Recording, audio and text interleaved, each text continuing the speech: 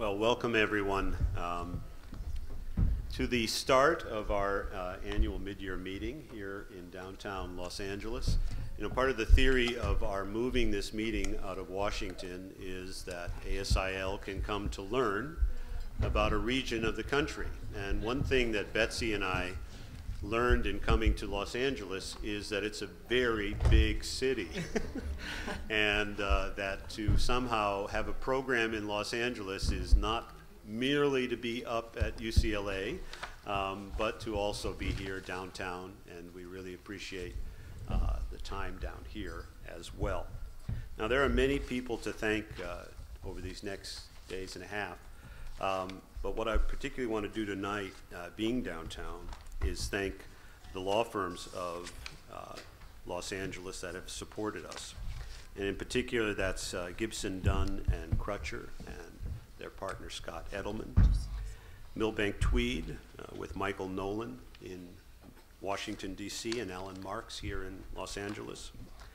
And Munger, Tolles, and Olson with their partners Charles Siegel, Joe Lee, and Manuel Chacon. Um, and then I really want to thank, in particular, Arent Fox, which has been given a tremendous amount of generosity, both in support and in the time of its uh, partner in charge, who is Robert O'Brien, which leads to a transition to our panel this evening.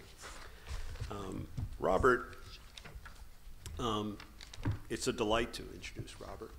Um, you know, often we hear the phrase about a great American, and I think Robert is really an example of that.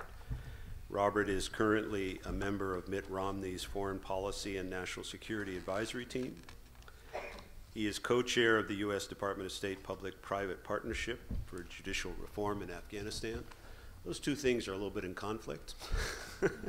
so as, as uh, Robert was just mentioning, he'll be transitioning out of the uh, Department of State position, which uh, he had been planning to do for some time in any event. He's had it that for a while uh, and continuing in his role with Mitt Romney.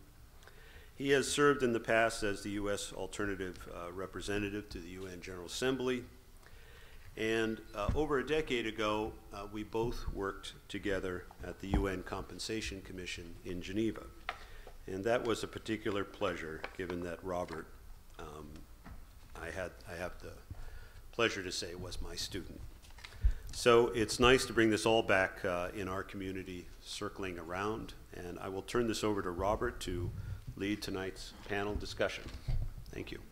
Thank you very much, David. I'll just sit here. There's, get up to the podium. Uh, I, I, sure appreciate David's kind words. Uh, he's uh, not just my uh, former professor, mentor, and friend. Uh, he's become a great friend of my family's. Uh, he said we worked together at the UNCC. That's generous. I actually worked for him. He was a commissioner. I was staff. Uh, so uh, that was nice. Uh, welcome to uh, Los Angeles and welcome to the California Club. I hope you're enjoying the weather if you're from the East Coast. I always know when the weather's turning in the East Coast because we have more of our partners from New York and Washington visiting the LA office. Uh, for some reason, business development in LA is always best between November and March. so welcome, welcome out. We've got an all-star panel tonight. No one up here uh, needs any introduction. Uh, in fact, it's the, the type of panel, I, I, I, brought my son, just to digress for a minute, to a panel that I served on. And afterwards, he came up and asked, and he said, hey, Dad, he's 14, he goes, those guys on the panel were all smarter than you. And uh, I said, yeah, they were. They were. And he goes, and they went to really good schools. Uh, and I said, yeah, they, they, they did. Uh, thanks. I'm glad I brought you. I'll make sure I bring you to court uh, next time I have an argument. Uh, but, but I feel that way uh, this evening. Uh, I'll, I'll, start with uh, Dean uh, Edward Swaine from George Washington University. he'll speak to us regarding the Hague Convention on choice of court agreements. he's the Senior Associate Dean for Academic Affairs, Professor of Law, Director of the Competition Law Center, and has one of those amazing CVs that you only see at an ASIL convention or meeting like this uh, editor-in-chief of the Yale Law Journal, law clerk to Judge Rubin on the Fifth Circuit, antitrust practice with Cleary in Brussels, stint at uh, DOS in 0506 when I was there, uh, uh, and widely published in uh, all the right journals. So we're, we're thrilled to have him uh, speaking on a, on a, key topic, and I think the, the questions are going to be pretty interesting given how tough it is these days to get a, a convention or a, a treaty passed through the Senate. Uh, as an aside, I do want to thank uh, him uh, uh, and his university. George Washington hosted uh, one of our Afghan scholars last year. He came over and received an LLM degree, uh, Fahim. It was a, a ver- very generous, full scholarship for this young man, but something very sad happened in January. I had just returned from a trip to Afghanistan with a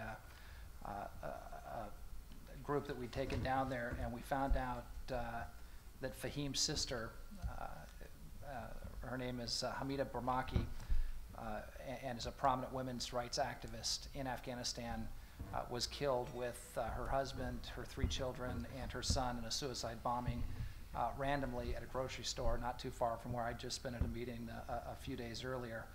Uh, and so Fahim was here. He couldn't get back uh, in time for the funeral, which was conducted in, uh, uh, with respect to their religious traditions in a relatively prompt manner. Uh, and uh, Dean Karamanian, uh, George Washington University stepped up and took care of this young man, got him through a very difficult crisis, and he graduated and received his LLM degree. And I want to do to thank him again and his university for their not only for their uh, generosity in bringing a scholar over, but for their humanity and, and the way that they dealt with him after that tragic event in his family. Uh, and it, and uh, the, the interesting thing is we, the State Department was prepared to allow Fahim to stay and give him uh, uh, status here, resident status here. He decided to go back to Afghanistan to try and rebuild the country, which is courageous, but also I'm sure he was inspired by what he learned at the, at the university. Following Dean Swaine's comments, we'll take a couple of questions from the audience, uh, and then we're going to hear from uh, Donald Francis Donovan and Lucy F. Reed. Uh, Again, two people that don't need uh, any introduction, especially in this uh, group.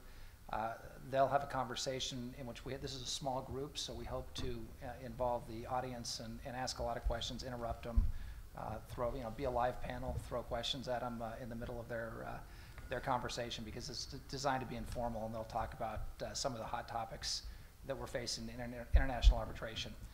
Uh, Donald Donovan, of course, is a senior partner at uh, Debevoise and Plimpton. He'll be the uh, president of the ASIL when uh, uh, David Caron steps down in March. Stanford law grad, uh, Blackmun clerk, preeminent commercial international arbitrator, but he's also dedicated his life to human rights and has received numerous awards and served on boards of human rights panels and, and has shown a commitment to, to, to that side of international law and, and shown his humanity uh, as well. Uh, Lucy F. Reed, uh, of course, is uh, New York office at Freshfields, uh, co-chairs probably the preeminent international arbitration practice in the world powerhouse uh, firm in that area. Uh, uh, And in addition to her practice, she's also been involved in public international law, has served as a commissioner of the Ethiopia Eritrea Claims Commission, uh, the Tribunal for Dormant Accounts in Switzerland. Uh, She was also at DSF, or excuse me, DOS for a time, and was GC of the Korean Peninsula Development Organization. Uh, She's an honors graduate uh, from the University of Chicago School, so, uh, Law School. So it is, it's a great panel. I think we're going to hear some interesting things this evening, and uh, with that, I'll turn the time over to uh, Dean Swaine. Thank you very much for that kind introduction. Thanks to ASIL for including me mistakenly on such an august panel, uh, and as I'll say in a few minutes, for uh, involving me in the project that I'm going to describe to you. And also thanks, Robert, for those kind words about um, Susan Karamanian, um, our international law dean, who just, uh, who does a wonderful thing for uh, our, uh, our university, and she just celebrated her 10th year with us, uh, and we wouldn't be the place we are without her. So thanks for those, those kind remarks. Um, so I am, relatively speaking, a newcomer uh, to uh, international uh, commercial law. That's not really uh, my expertise, as you'll rapidly expose in your uh, questioning. Um, but the problems um, that we were trying to address with this convention uh, weren't unfamiliar to me as somebody who teaches contracts law and the CISG and so forth. The basic scenario, for those of you who aren't familiar with the convention, I won't suppose that you all are, um, is you know, suppose you have uh, a contract between parties uh, from different states. Uh, and uh, something goes awry. Um, the parties become antagonistic towards one another, as they sometimes mistakenly do. Um, one thing that might happen is that the parties might retreat to their respective corners, uh, file lawsuits, and a court will have to decide uh, which of those two courts will proceed, or perhaps both will. Um, Another possibility is the two might cooperate to some degree uh, in choosing a particular uh, jurisdiction um, and then um, produce a result that, unbeknownst to one of them, is a stunning victory uh, for the other. Uh, and then uh, they may decide to cease cooperating, and there will be some difficulty in enforcing the judgment. The judgment remains to be collected. Uh, and uh, the lawyer facing that situation would presently come to the stark realization that there is no effective international system um, for requiring states to heed one another's jurisdiction uh, or judgments in these sorts of situations. Lawyers know this, of course, so what do they do? Um, they can solve the problem to some degree by writing a contract that has a choice of courts uh, provision in it. Um, they have to hope that it's enforceable if it's challenged, uh, and they still have the problem of pursuing uh, the judgment. Everything's possible, but little is certain in that circumstance. There's really no degree of certainty they might have. Um, alternatively, they can agree to arbitrate the matter, uh, which um, uh, I, understand to be a lucrative uh, pursuit uh, uh, for, for many of them and quite efficient in many regards. Uh, and here they have a major advantage. International law affords them a leg up because of the 1958 New York Convention, um, which the U.S. has ratified in 1970, and which has um, started a process that has unfolded um, by which states can mutually agree to enforce arbitral awards. Um, so this creates however, a regulatory gap uh, between um, choice of courts agreements uh, and agreements uh, to arbitrate, and international law abhors a vacuum. Uh, and so international law has been trying to figure out uh, how to deal with this. Um, to have a similar convention, say, for courts that would allow uh, parties um, to have really an opportunity to choose on a level playing field between whether they want judicial resolution on the one hand or arbitration on the other. Um, and the U.S. has a particular stake in this. Uh, the U.S. courts have been relatively open uh, to entertaining lawsuits and also to um, relatively amenable uh, to foreign country judgments. Uh, and so the issue from a U.S. perspective has been more or less how to persuade um, others to permit successful U.S. litigants. And by that I mean people who've litigated successfully in U.S. courts, not necessarily U.S. parties, um, how they can achieve uh, similar rights abroad uh, to pursue uh, their judgments abroad. Um, so the Hague Conference took an interest in this uh, of, of many, uh, and in the early 1990s tried to establish a convention on the recognition and enforcement of judgments generally. Um, this was eventually retooled, however, into a subset. Um, the theory of this being that agreements were a much more tractable problem because there you had the parties, in principle, opting into whatever peculiar civil procedure a particular jurisdiction might have. They were agreeing to be subject to it. Uh, and uh, contract disputes seemed uh, more, uh, there seemed to be more common ground. So eventually this broader enterprise uh, kind of ground to a halt. Uh, and this newer, smaller convention, the Convention on Choice of Court Agreements, arose. It was concluded in 2005. Basically, it has um, three rules, more or less. one of them is uh, that a court in a uh, treaty party state that's chosen by the parties uh, has to hear their dispute. A second is the court in a treaty party state that's not chosen, this is, a, this is one that is not privileged by the parties, uh, has to stay out. Uh, if a party files in that state, notwithstanding the agreement, uh, the court says, stay away. You chose somebody else. I was spurned. I want nothing to do with your suit. Um, and the third component is that a judgment that is rendered pursuant to one of these choice of courts agreements, um, uh, an exclusive one at least, has to be uh, entertained. It has to be enforced by other treaty parties. Uh, and there is also the option of having non-exclusive choice of court um, provisions enforce judgments rendered according to them in this way. Leaves out a lot of nuance, this, uh, this description. Um, not all contracts are covered. Consumer contracts, for example, are excluded. Um, and there are some traditional safeguards that are included. Um, for example, um, you can ignore a choice of court uh, agreement judgments um, that are manifestly incompatible uh, with the public policy of the requested state uh, and other things that are hot button issues like um, non-compensatory damages, for example, uh, can be excluded. Um, and states also have some latitude to um, reduce the coverage of the convention if it's ill-suited to their local politics. For example, they can dictate um, that they won't have anything to do with exercising jurisdiction over uh, no contact cases. So they can say if the, if the dispute has nothing to do with us, um, that's not covered by the convention. This is one of the options they have to make such a declaration. So, um, this sounds great uh, in principle, and the U.S. Uh, uh, upped for this. It signed the convention in 2009. It solves a problem that the U.S. Uh, uh, wanted solved uh, and enjoys bipartisan support. So, what exactly is the problem? Um, most basically, it concerns a question about how the convention is going to become part of U.S. law. Um, uh, the quid pro quo for everything that we're trying to achieve abroad is that we actually get our act together um, to make this meaningful uh, on our home front.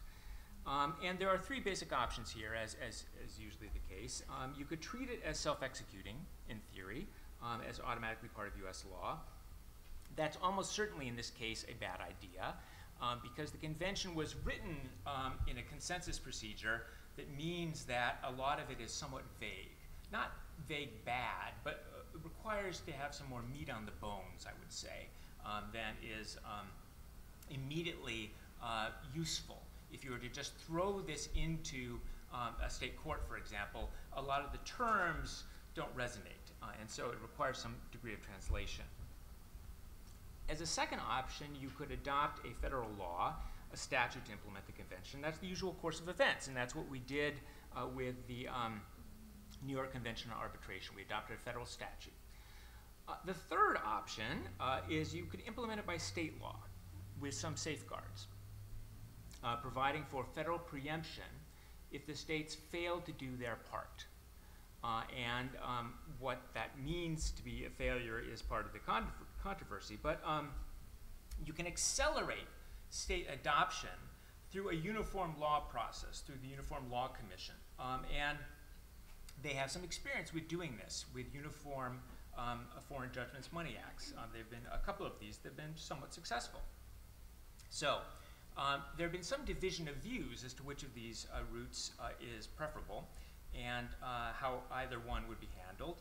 Um, and to describe the situation before um, I arrived on the scene, uh, the newcomer uh, uh, wandering into this somewhat unwittingly, it seemed to me that in, the, um, in their enthusiasm for the convention, um, various parties had laid a lot of track already, trying to develop how this would be implemented, but the track was of different gauges, you know, uh, and it went to different destinations completely. And so everyone was excited about the idea. They wanted the train to come, but how that train would operate and where it would wind up was completely different. And there was a lot of infrastructure. Um, so why couldn't the State Department, my initial question was, just choose? Just decide which is the better railroad uh, that's been uh, developed to this point and just opt for it. Um, I think this gets down to ultimately the harsh realities of the contemporary treaty uh, process.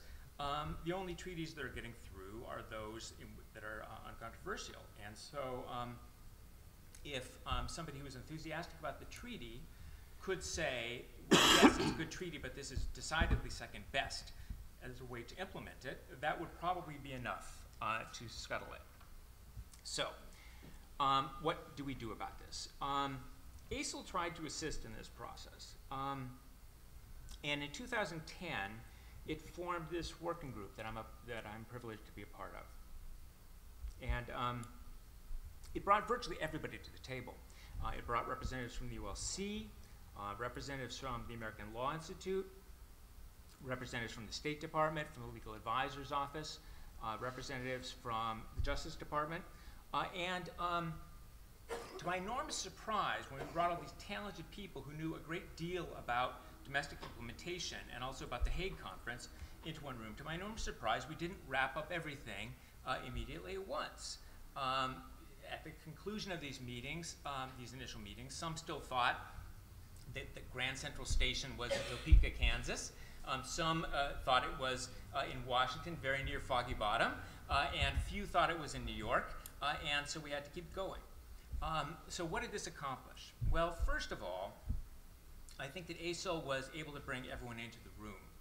Um, David uh, and Betsy um, were able to persuade a lot of very busy people um, that all was not lost uh, and that we could uh, actually work together. Now, Harold Koh was very helpful, of course, in doing this as well, um, but for a variety of reasons, um, the State Department couldn't really be the organizing party, couldn't be the convener. Uh, and um, I think ASIL was instrumental in uh, bringing this, this new kind of advisory process, this mini think tank on the convention together. And I, I think it, it did a world of good as a consequence of that. Um, beyond actually bringing people into the room, uh, and for the most part, everyone has emerged from those rooms as well. A few fatalities, but uh, they haven't been written up. So, um, you know, we've actually made enormous strides in actually forging a compromise approach. Um, the approach, which I'm happy to entertain questions about, is just an, uh, a uh, cooperative federalism one. Um, and um, how we do that is um, been quite uh, complicated. Um, and uh, the idea is, though, at the end of the day, um, that foreign litigants and uh, parties who are interested in, in adopting the convention themselves will be able to look to state law and federal law and see roughly the same thing. Now, there are complications to this, and we're really working on some very difficult to resolve issues, including where they'll be enforced. Um, but I think uh, I'm going to guess uh, that the paper suggests that I might wind up at this point. Um, Says Uh, that's 50 fine, minutes. That's a five minute. Says five minutes. 50, 50 minutes. You're being too, 50 minutes, excellent. So, um, well, thus emboldened, um, uh, I will, uh, I will say to some degree that I think uh, ASIL has been, in this respect, somewhat the victim of its own success.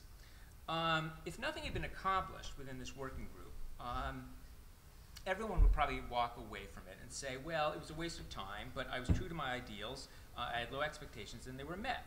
Uh, and as we emerged blinking into the light, uh, people, third parties would say, well, yeah, I told you so. Um, and instead, I think what we're seeing, and this is a difficult process of compromise, I think what we're seeing to some degree is uh, people, not unlike having buyer's remorse, looking at what has been agreed to, what we've been, the parameters within we've been working, and saying, hmm, did I really agree to that? Is this really, how's this going to play um, with my constituencies? And, and uh, third parties are reacting divergently. And so, one of the issues, for example, is whether this is um, a federal question that gets uh, resolved in federal courts, like the arbitration matters. Um, and, um, or alternately, it's something that can be hashed out in all state courts and, uh, and bring, brought into federal courts only through diversity jurisdiction. Uh, or perhaps there are some removable issues. Uh, and uh, as we've uh, begun to sort of flesh out what that means, a variety of interested parties, federal and state judges, members of the private bar, have all weighed in. And now we're at the process where we have to reconcile all these new views um, to what we have sort of been talking about within the group. And this is a very difficult process, and we're not home uh, by any stretch of the imagination. But I really do think uh, that we've made some progress.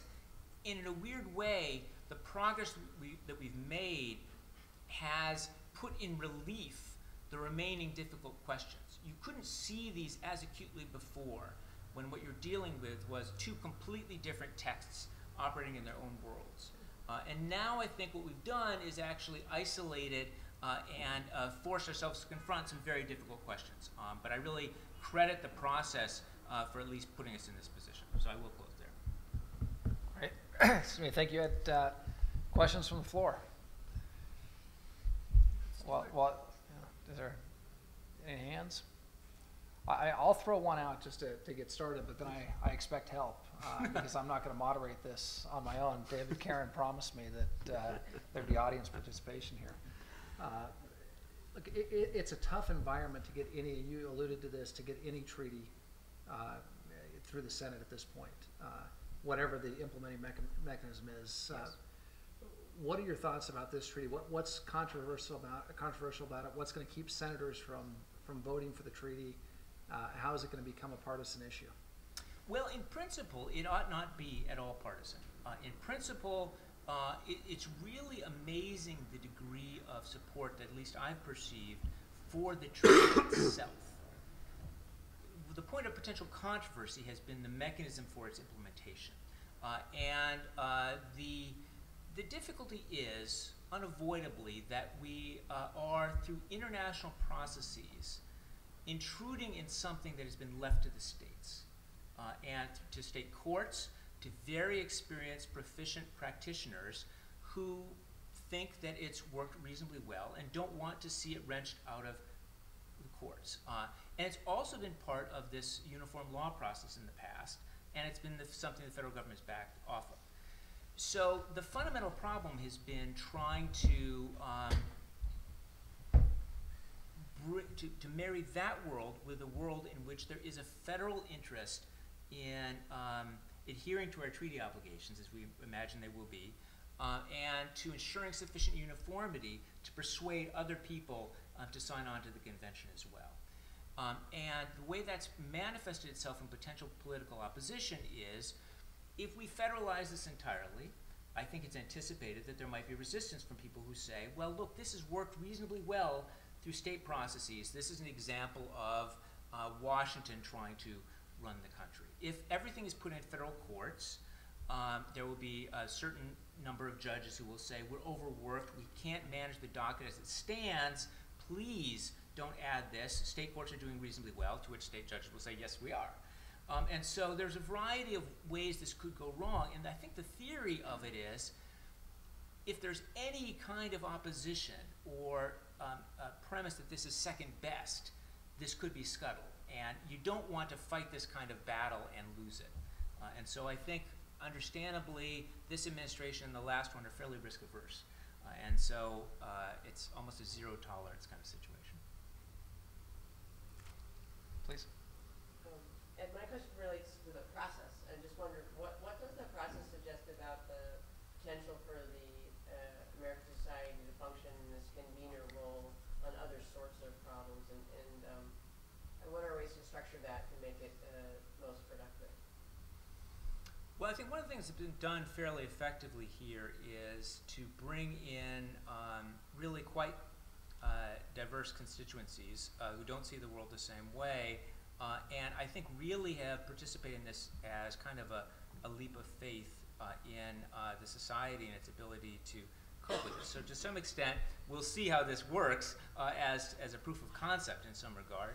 Um, I- actually think I'm pretty optimistic about the process, and I think that in future instances, we won't necessarily have to be addressing problem that's as intractable as this one. I think the difficulty with this situation is we have fairly invested efforts, as I was describing, you know, the different gauges of track. Uh, and I'd like to think that, that another one will come along, which you won't have this sort of um, set efforts that you'll have to unwrite. Now, what I would expect uh, will be uh, a substitute problem, will be your average international convention is more controversial, I think, than this one is. I mean, I think this one has such a degree of support that we're able to get a pass on that front and just work, worry about the domestic front. Um, so I think in a future um, problem that the society might want to take on through this kind of mechanism, there will be more controversy on the international plane, on that degree of commitment. Um, so I think there'll be some advantages and some disadvantages relative to this effort. So thank you for that comment, Ed. I just, I would just would follow up that I think Betsy and I have seen other forms that this takes, that in our politicized world, there's, it's, we need places that are not politicized. And I think ASIL has that reputation and reality. Uh, the addition I would make, a, a rather different thing, is um, as international law more deals with domestic subjects, State Department is brought into conversations with domestic agencies uh, at the federal level, and often in a position of dominance uh, because traditionally that was their area. And what I have found over that past year in Washington was sometimes the other agencies would approach ASIL about having a program. Is there some way we could get everyone in the room to talk about an issue? Um, this is happening in a number of countries, that foreign ministries that dealt with only external matters, actually, in dealing with external matters, are now dealing with internal matters. And their scope of contact with domestic agencies are increasing. And how to facilitate that. We have official processes, but they're, they're also, there are games that are played, as you well know, uh, about this. So there's a number of ways in which I think uh, there ASIL can be a convener and help things move along. Just to follow up that comment and to, uh, and and to support something Ed said, the, the American Society has actually played a, a, a really important role in drawing this discussion, into this discussion, folks from the state level. What you said about other agencies at the federal level is, is certainly true, but this particular convention, because it contemplates, uh, choice of courts, uh, clauses that say, I want to litigate in a state court, brings in a totally different segment of our legal society. Frankly, the Uniform Law Commission has not historically had a particularly uh, strong interest in international law. As forward, thinking about other private international law treaties, this problem will repeat itself and even get larger. So that this dialogue that Ed has described is vitally important and that society plays a really critical role. The folks in the Uniform Law Commission now have a, uh, a, a better understanding of international law, of the treaty process, of the role that goes on, and, and this is going to uh, be beneficial in the future.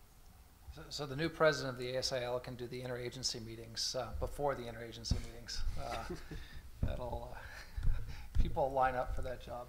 Uh, The, uh, thank you, Ed. Uh, It is amazing that you could pull everybody together, a- and I do think that the reputation of the SIL uh, in Washington as a nonpartisan, uh, safe organization to have these conversations among experts and professionals, even folks with different views, uh, is critical because the, the, the space in the public forum for having those meetings is getting smaller and smaller. And to the extent that uh, the ASIL can uh, uh, carve out some space there uh, for that sort of discourse is, is really commendable. Uh, a- And we'll have some time at the end for some more questions for Ed, but let me turn the, the panel over to Donovan and Reed right now uh, and hear their take on the hot topics in uh, international commercial arbitration. Thank you. Uh, Before I introduce our cutting-edge arbitral techniques part of the panel, I have to agree with, with Robert that um, our children keep us honest as international lawyers. And this is a brief anecdote. My son, when he was 13, told me he wanted to be a lawyer for three reasons. He likes to argue, he likes to win, and he likes to fly on business class. And one morning at home, uh, I, I, I do mostly, I want you all to understand, I do only incredibly intellectually challenging public international law arbitrations involving treaties and ICJ cases, but occasionally I have to do a construction arbitration. And one Sunday morning, my my son was reading the paper, and I was on the phone with some Italian clients saying, yes, okay, claim 903, the bolts in the fertilizer plant were rusted. Claim 709, okay, there was a leak, blah, blah, blah. After 25 minutes, I put, put down the phone, and my son looked up at me and said, I changed my mind. so there you go. It's not all that glamorous. But we, um, we did want to target, since we're in the city, some issues for practitioners of international arbitration uh, and focus on the, what we call cutting edge, or the topic of cutting edge arbitral techniques to deal with the, the perceived inefficiencies in international arbitration right now, particularly commercial. If you have questions about treaty arbitration, Donald and I both do it, and we're happy to get into it, but we're going to uh, each speak for a few minutes about our, our our top complaints in international uh, commercial arbitration and, and proposed fixes, and then open it up. And I'll introduce this by saying that uh, I always challenge people in this discussion, uh, particularly practitioners, about why there are so many complaints, particularly by corporate counsel, about the inefficiency of international commercial and treaty arbitration. Uh, the and my three points are this. In international arbitration, we are not looking for fast and inexpensive half-day results or any return to some nostalgic idea of, of tribal elder justice. We take the big arbitrations that we take uh, to arbitration not to be fast or inexpensive, but because we can't go to the courts uh, in the other country where our clients are doing business and vice versa because to, to revert to what Ed was talking about, we have a lot of foreign clients who distrust the U.S. courts because of triple damages and discovery uh, and juries. So it's mutual. So we've got to be in arbitration, and it's not, these are bet the company cases. They're billions of dollars, some of them. So the expectations have to be lowered on efficiency. Second, I think the complaints are exaggerated. Most people are relatively satisfied. And third, but there's much more to be done in this field, and the fixes are not rocket science. They're small things. They're techniques that counsel and clients and arbitrators and institutions uh, can do more about. I will uh, illustrate some of my main points by telling you all, if you don't know, and this is something you have anything to do with, that the ICC, the international, not the International Criminal Court, but the International Chamber of Commerce Court of Arbitration has enacted new rules that go into effect in January. I won't go into all the changes, of course, but some are focused exactly on this question of efficiency and management. One is, and I find this intriguing as a, as a lawyer, the rules now will con- contain an explicit contractual obligation between the tribunal and the parties that their arbitration be expeditious. So when it's not, a contract is violated and costs can be awarded by the arbitrators to the parties, and arbitrators can be uh, more safely challenged for inefficiency. The ICC has said this is a contract that you will be private givers of justice for us, and it should be uh, efficient. Second, there will now be a mandatory case management conference at the beginning, separate from the terms of reference conference or parallel to it, in which the, the arbitrators and the parties have to talk about how to bifurcate, trifurcate the case, have dispositive motions up front, use video conferencing, discuss the ways that it can be more, more efficient. And this should make arbitrators more willing to insist on efficiency by sitting down and saying to the parties, this is, this is how we will do it, and don't say you're going to challenge my award uh, if we do it this way. Uh, the third, and I like this one, it's very subtle. Now, when an ICC panel finishes a hearing or takes its last submission, they have to give an indicative date of when their award will be issued. I call this the library card phenomena. You know, if you remember when you were young and you took out the library card and said, this book is due on December 1st, you knew, you knew it was due on December 1st, and it was a big deal if you had to extend it. And that will put, I think, pressure uh, on arbitrators instead of these rolling extensions.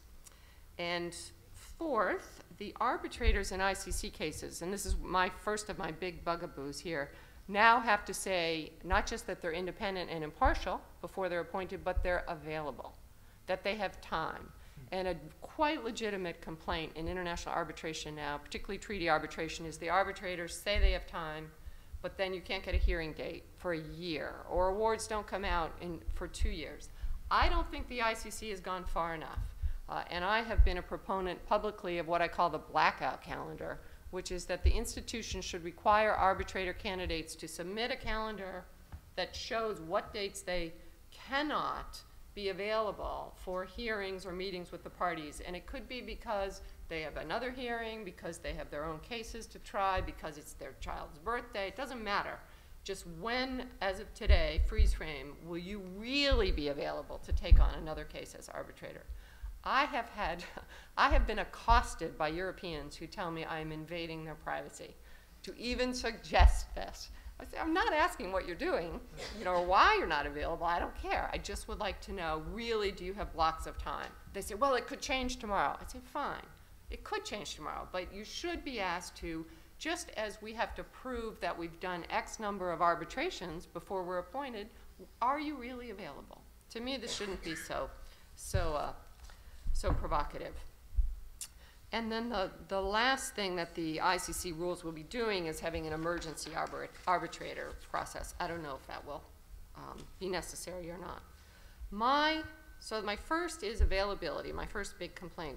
The second is unprepared arbitrators. And there are good reasons why we're all unprepared for things in life, and there are bad reasons. Okay, I admit it. But I've been a proponent, proponent and Donald's firm has actually done it, of what I call a uh, forced arbitrator retreat, where the parties say to the arbitrators, we will pay you to go away for a weekend and read our briefs four weeks before the hearing so you can give us questions, tell us if we're off base, tell us what witness you want to hear about. Uh, it's really off the record, it's kind of a lockup rule. Um, and even arbitrators who are generally conscientious would benefit from knowing they're being asked to front load preparation.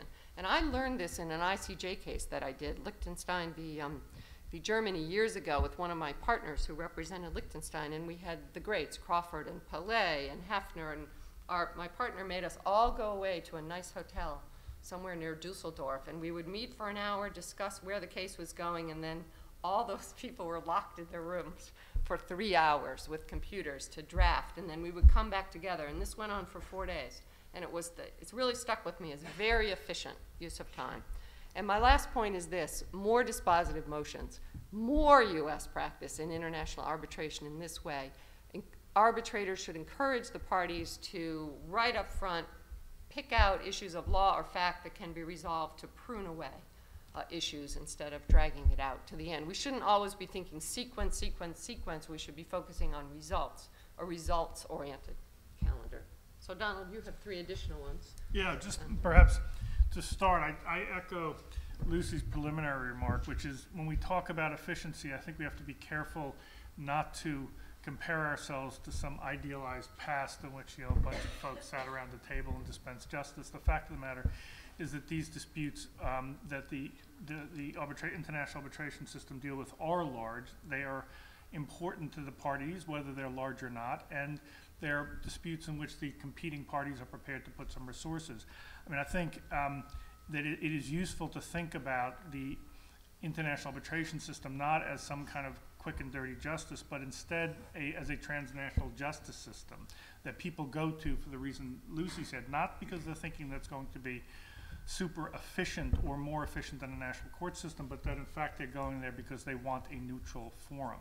And if you think about any international arbitration system and the, this, its structure, its architecture, it really is uh, extraordinary. Effectively, it is a system in which states will put, behind which states will put their coercive authority, even though they do not directly regulate the process. They indirectly regulate it by the conditions on which they will put their coercive authority. But it differs in that respect from either a national court system, which some legitimating political system puts together, or a, a treaty-based system like the ICJ, which again, although the judges will always re retain their independence, their adjudicatory independence, are themselves part of a system in some sense directly financed, administered, regulated by a, a group of states, an identifiable group of states. Um, having said all that, the, the, the means, just as it would be for a national court system, or I know we'll talk later about the ICJ, an international court, trying to bring justice in a more efficient and effective way, of course, should always be a goal of any system, whether it be international, transnational, or national. The, the overriding concept I try to bring or think about in this respect, with respect to international arbitration, is the notion of a collaborative arbitration. That is, an arbitration, we sometimes have the debate in these four about you know, who owns the arbitration. Is it the arbitrators or the, you know, the parties? And of course, at the end, the parties own it. They're the ones who've convened it. But I do think it is the most effective way to do it is to think of it as a collaboration between party parties, the counsel, and the arbitrators, in which they are constantly looking, constantly feeding one another for the most effective way to resolve the dispute, the very specific dispute in front of them. And it is the great hallmark, as much as people say it, it happens to be true, the great hallmark of, of international arbitration that it's flexible. Um, so those preliminary thoughts about the process and the way we should be thinking about this um, recognizing that we've, we've agreed we're going to do this in very short order. So now we really get more concrete, and I tell you the three things that, in which I, I, I and, and the points in which I think we could directly, in some fashion, um, affect the process. And, and Debevoise has put out something called the, the uh, Debevoise Protocol for Promoting Efficiency. Some of these ideas you'll find there, a few others. The first is how we deal with documents. The great bogey person of international arbitration. Oh my gosh, we're going to have U.S. style discovery. We might have to give the other party documents. There might be some document exchange.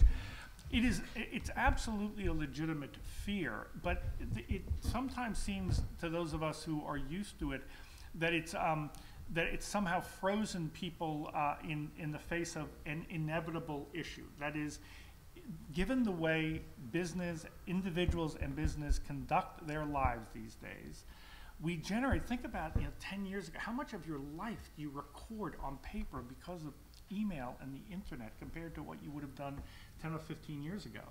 Um, and there, and the- how much of, of all of the information for businesses and the like are stored by, by electronic means? Uh, arbitrators and parties are going to have to be comfortable with it. They're going to have to grapple with it. They're going to have to make decisions about it. That's not to say that they can't be strict and disciplined. Indeed, the only way an arbitrator can be strict and disciplined about the kind of document production that might be called for in a particular case, or to be able to decide that no such document production is called for, is by being completely comfortable with the notion of document exchange, when it's useful, when it's useless, and basic techniques of e-discovery. Because if an arbitrator can't even deal with it, they can't fulfill their charge, on the one hand, to make sure they're running a fair proceeding, but on the other hand, to make sure they're running an efficient one. Um, I do think there are other even more basic techniques. Uh, for example, I think many people are now, and it's something I was doing, I'm sitting as arbitrator, trying to encourage parties to, um, to produce documentary evidence in two, in two types. Identify what are your core documents? What do you think the case is really going to turn on? Many times people produce documents that I think of as challenge me documents. They, they're essential to establish certain facts or certain parts of the claim or certain parts of the scenario. But at the end of the day, nobody's ever going to look at them because effectively the facts that they're designed to challenge or to establish are not going to be challenged. And I even put in my, in my orders to say that no inference can be drawn and no argument will be heard about the fact that you thought something was less important because you didn't put it in your core documents, but you later start to argue about it. It's wonderful to get a, a set of filings that's not only on a disk, of course you put everything on a disk, but then just get one set of exhibits that's about, you know, one, you know, that, that big. Um, i- i- i- if, trial lawyers will tell you all the time that the key documents that actually decide a dispute in any case, no matter how many file drawers it fills up, are actually relatively few. So that's the first, dealing with documents. The second um, uh, technique that I think we need to look much more closely at is the use of legal experts. Um, this may be arrogance on my part, but I do think that uh, as much as international arbitration, like other dispute resolution um, processes, rely on specific expertise, in an international arbitration, I think legal experts are of a different character than technical or financial whatever experts. I may not be a Japanese lawyer or a Brazilian lawyer or a Korean lawyer, but I know what a legal text is, and I know what different sorts of, of law are. And I, I feel like I am, legal expertise is more accessible to me than perhaps some aerospace engineering or the like.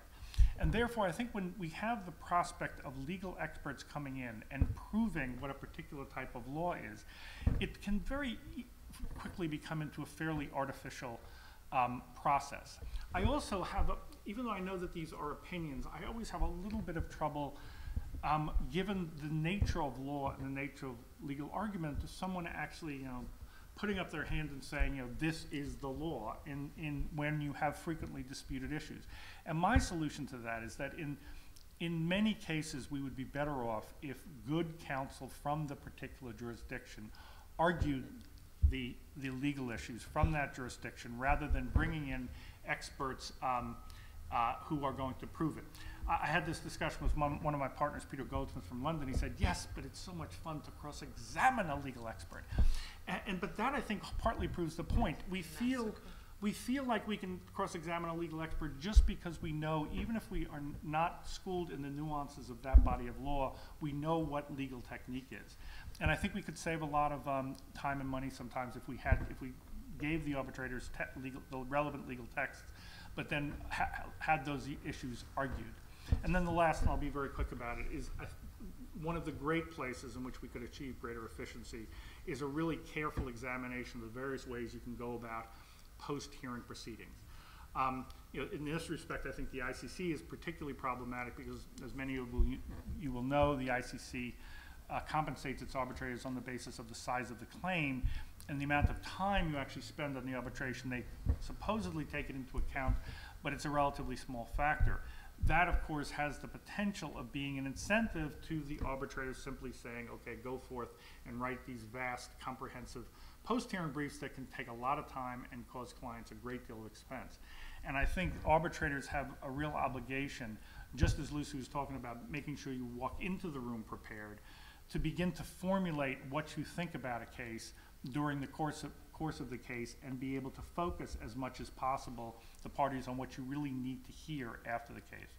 There will be some cases that are very large and complicated, where you'll have lengthy hearings, where you will be bringing in a lot of testimony, where there will be a reason, uh, there will be, it would be justifiable to have relatively comprehensive post-hearing briefs. But even there, I think where the arbitrator can help is by coming, making sure that he or she understands the case, works with the party to make sure that the post-hearing briefs are going to talk to one another. I have recently taken to the practice of proposing to the parties that the, either the tribunal or the arbitrator sitting sole um, actually outline the post-hearing briefs, take the initiative of outlining the post-hearing briefs.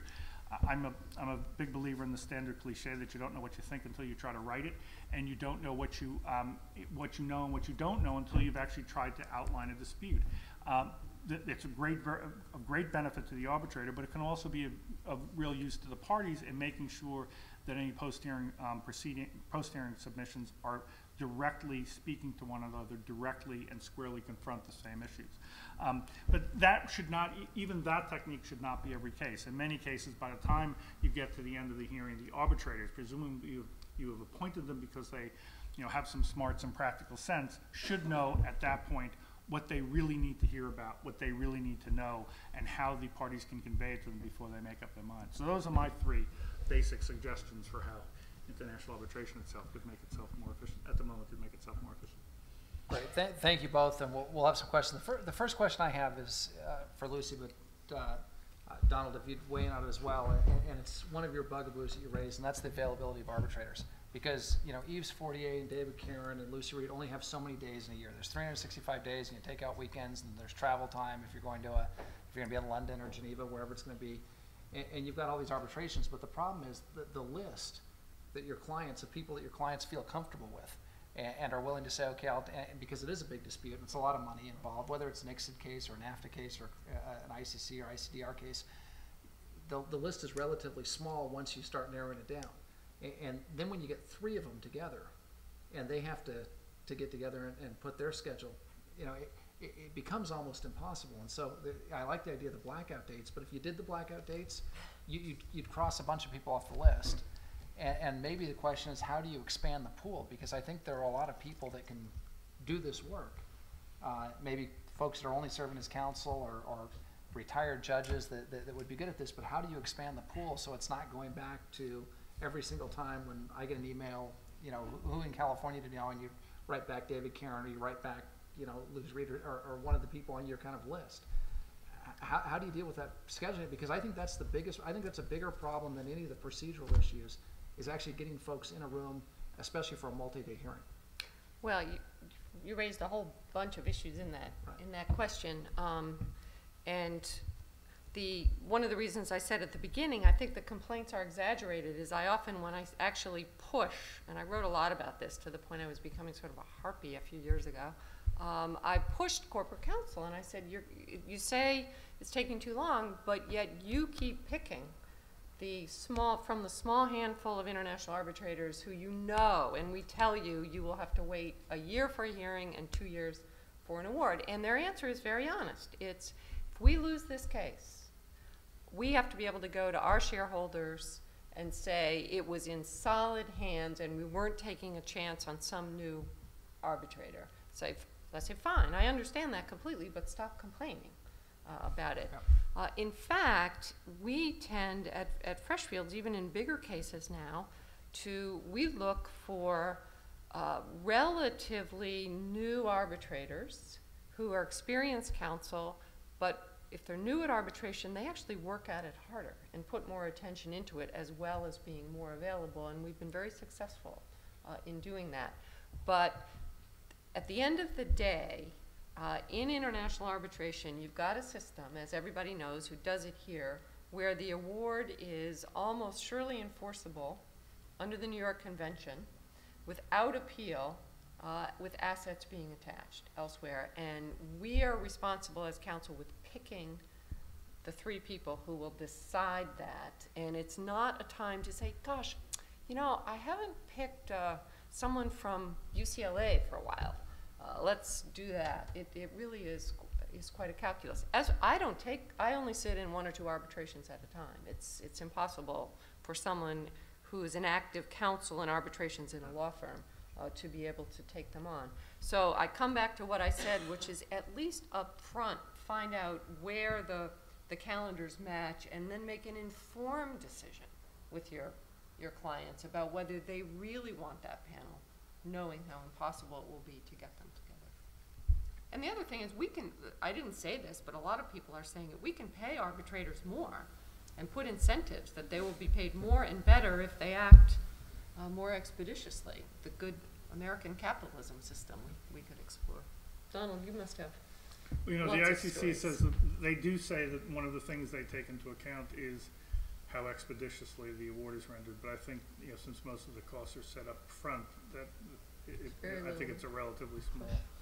Um, I agree with Lucy that, you know, I, I used to wonder whether this was just, you know, reflecting back at myself, because I was, you know, when I was a young, you know, relatively young arbitration practitioner, I always used to think, well, the right profile of an arbitrator is a young, and then I realized I was describing myself.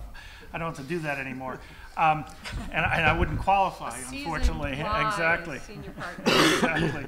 Um, but it is a part of, a part of a problem, um, with expanding the pool. I, I do think the, the basic idea though is transparency. How do we get, I, I think if you had statistics, for example, on how, uh, how long arbitrators took to render awards and how long tribunals took to render awards, it would be very helpful. There may still be cases though, and we've all had this discussion where you Yep. say, you know, I know you want to move this case, this, this arbitrator for various reasons, um, is the right profile, but he or she is very busy, um, and people will say, yeah, well, that's what we're gonna do anyhow. So it is, it is, um, it's a, it's a hard one to crack. By the way, one of my other unpopular amongst arbitrators over 80 proposal is that they be asked to give data, just as the, the number of arbitrations that they've decided and their blackout calendars, of how long the time has passed since the close of hearings in their cases and the issuance of the award, with the opportunity to fill in a field that says, well, it was suspended, or my co-arbitrator was sick, or whatever. I, I have no doubt if, that if those people you're talking about had to see in black and white, two years, 18 months, two years, the time would, would come down. It was August in France. Uh, Questions from the audience? Yes. First of all, I must express my surprise that your conversation with an Italian client lasted only 25 minutes. You used to keep people on the phone for hours, even for free. It was, uh, it was Sunday morning, I don't know. No, uh, I, I was uh, quite impressed by what you said at the beginning, uh, the fact that uh, most of the times arbitration are there because they, they don't, they, the people can, cannot go to a court.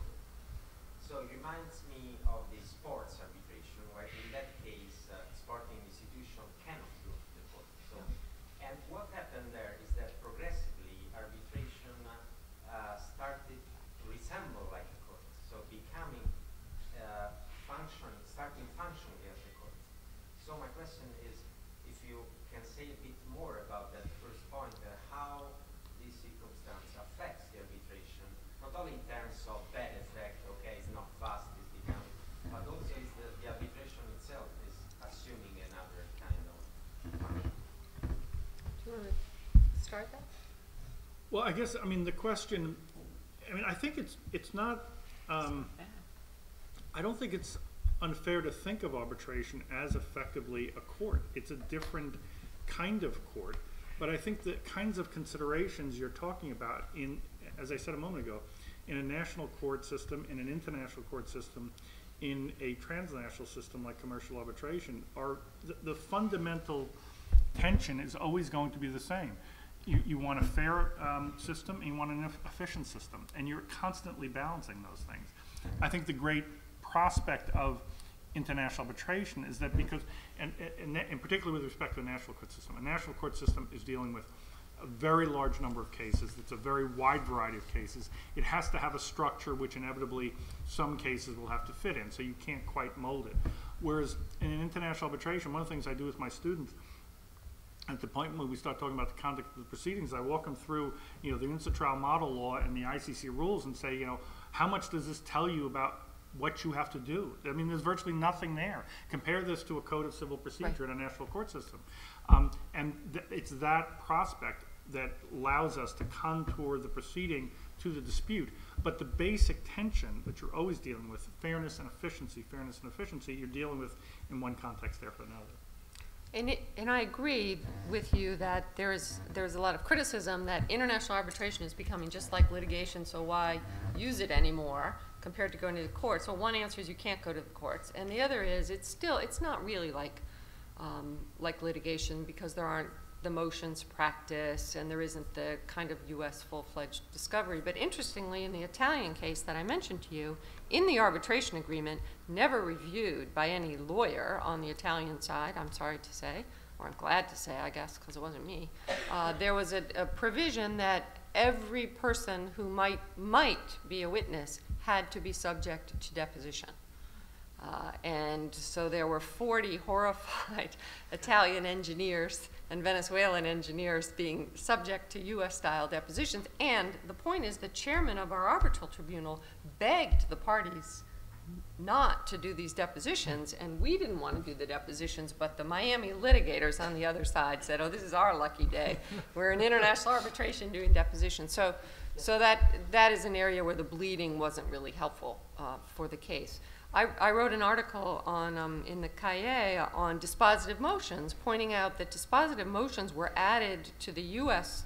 federal rules at, from the courts of equity in England to shorten court uh, cases, to get issues decided early or on discrete issues of law. And so it's not a bad thing to have dispositive motions. It's in international arbitration. It's not just more U.S. style litigation uh, being added to it. But the court case, I mean, sorry, the sport cases work pretty well still. Well, they can be fast too. I mean, at the Olympics, they'll have these arbitrations in an afternoon, and uh, I, I I have a, a partner who does this, and it's amazing when you talk to her about how quickly they'll they'll get a dispute, and and they're huge issues, at least for that moment in time. It's a, whether someone can participate in a race or gets a gold medal or, or those sorts of things, and, and they do uh, proceed with dispatch. Uh, The best decision by my partner, Jan Paulsson, was with a snowboarder decision, where he wrote, the whole decision was basically this, when he gave the medal back, marijuana is not a performance enhancing drug.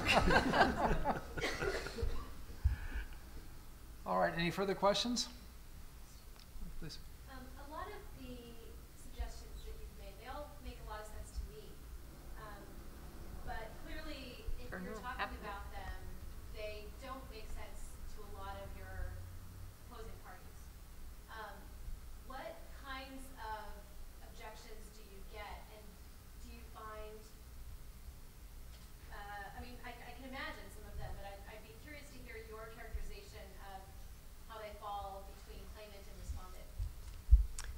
Well, let me answer that first by saying that's why I think it's so important that the ICC rules are now putting into black and white some of the road signs that will help make these corrections. The ICSID rules allow for dispositive motions, the Singapore rules. So that's going to help a lot to have the institutions say, you can do it this way, you must do it this way. Because that gives backbone to the arbitrators who are always afraid they'll be challenged for violating due process, or their awards will be challenged for violating due process by not letting it go on for three years. So I think the biggest step is for the institutions to do it. In terms of whether it's respondents or claimants, the stereotype, of course, is that the respondent, whether it's a state or a private party, wants to drag it out and the claimant wants it to go fast.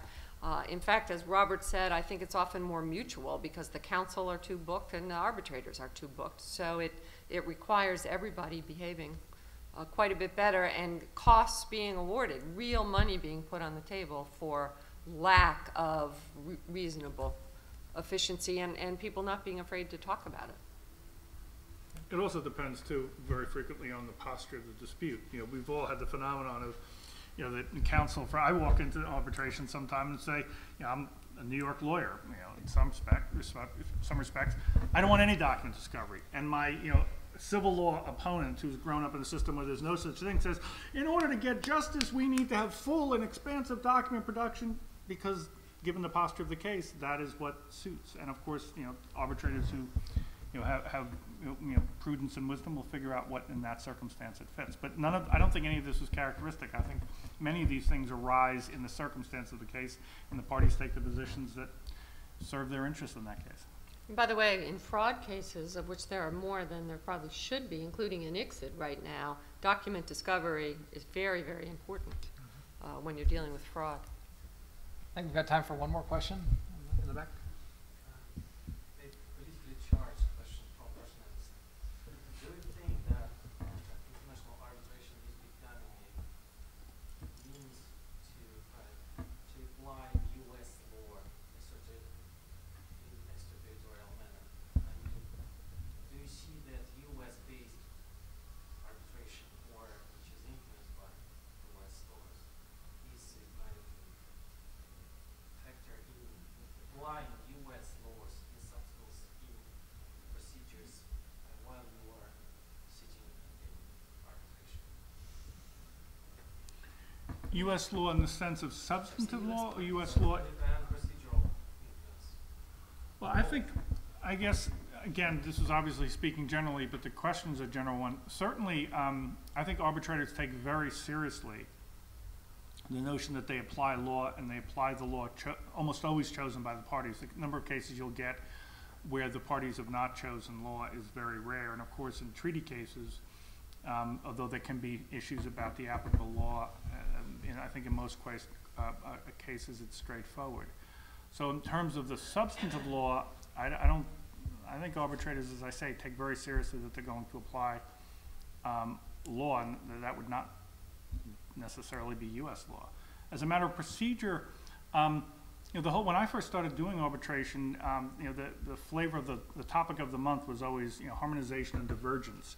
Um, people talked a great deal about the, the system and how, you know, the- various influences. I do think that the system we have now, and there is, there is a, a, a, a type of arbitration that happens in many different disputes, from which one can diverge, but I think major disputes in which includes, for example, cross-examination, includes some techniques from civil law systems, um, includes your witness statements in lieu of direct testimony, is um, to some extent an, an amalgamation of techniques from various legal systems. And I think the, um, i- i- arbitrations that occur where will often be very much influenced by the identity of the parties, the identity of the arbitrators they choose, the legal systems from which they come, the, the, um, the economic systems from which they come. So I'm, I think, you know, the notion of US dominance on procedural matters, I think also, I, I think you'd have to justify it. I, I, it's, from my standpoint, the, as I, s- as I said earlier, the flexibility of international arbitration and its ability to draw on various legal traditions and various techniques is one of its strengths. Well, thank you all very much. Excellent questions. Uh, Ed, Don, and Lucy, uh, we're indebted to you for your presentations tonight. Uh, A lot of wisdom uh, around the table. So thank you. Uh, David, thanks for convening this uh, meeting. We, it's, it's great to attend an ASIL meeting in Los Angeles as opposed to Washington. So uh, thank you for bringing this all together. My pleasure. Perhaps everyone can join me in thanking the panel.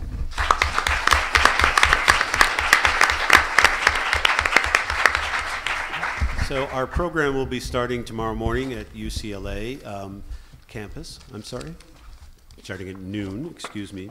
Um, And I just wondering, Betsy, the, there is a bus back for those who have come from the hotel? There's a shuttle? Uh, yes, I believe tonight at eight, eight o'clock. the bus So do will we be still here get back to the hotel. So talk to each other here? Yes, absolutely. All right, so we will be mingling for a while, and uh, thanks again to the panel, and thank all of you. I look forward to seeing you tomorrow. Thank you.